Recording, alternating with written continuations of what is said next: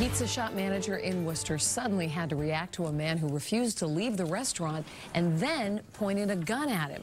That manager had no idea in that moment that the gun wasn't real. He told WBZ's Ken MacLeod that there wasn't time to think, just time to react. It's not often that your fight or flight response kicks in while making pizza, but that's exactly what happened at this shop in Worcester's Kelly Square.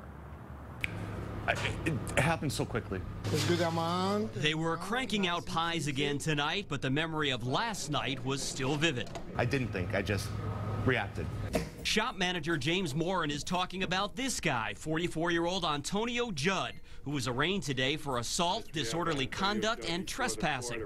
Police say it was Judd who stumbled into the shop drunk and laid down in a booth for a snooze. I cleared my throat, said, sir, you're not permitted to sleep here. Within seconds, the dozing visitor was awake and belligerent as Morin quickly pointed him to the door. He pulled out the gun and he says, uh, I, I have something for you guys. Morin grabbed the gunman's pistol arm and put his shoulder into his chest, thrusting him out the door.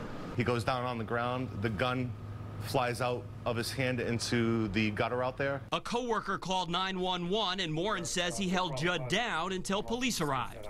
After looking at the gun closely, the, the cops then told us that it, it, was a BB gun. Of course, in the split second he had to react, James Morin only knew he was staring down the barrel of something black and shiny.